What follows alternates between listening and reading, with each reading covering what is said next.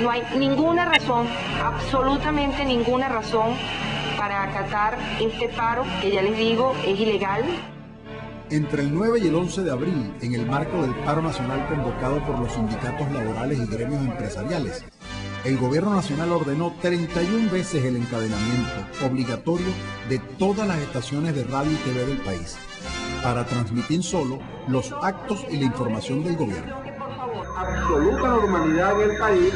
Estas cadenas impedían a los canales independientes informar sobre los múltiples hechos que estaban ocurriendo en Caracas y el resto del país.